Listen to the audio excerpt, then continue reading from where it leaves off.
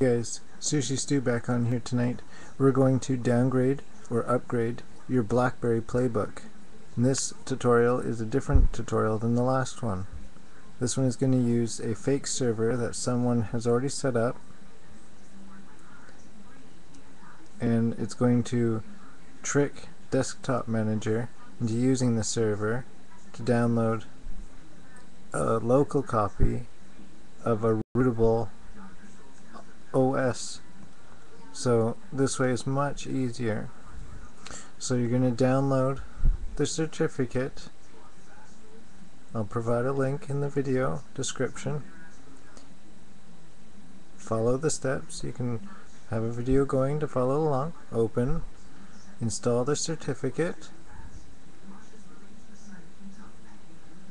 Continue on. Browse and install you want to go to certificate stores? Trusted root certificate store by user? And finish? Now you need to run notepad as an administrator. Has to be otherwise it, it won't take effect. And go to your C Windows system 32 drivers etc find your host file, hosts, open it with Notepad. You're going to add the following line.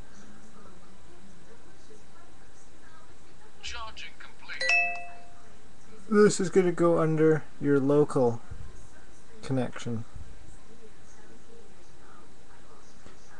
Make sure you don't have Desktop Manager open when you do this so you run it after you're done.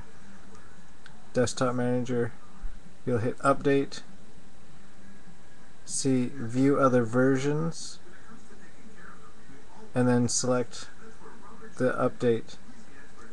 And this should have three different versions installed in it. As we go up to the top, you can see he's got 1.08 1.09, 1.08607, and 2.04869. So this is all set up ready for you. You just have to follow these simple instructions to download the certificate and have it ready. You gotta change your host file so that when Desktop Manager opens it will be directed to go to this server that you have uh, downloads this certificate for? And that's what this line will do when you add it? It will change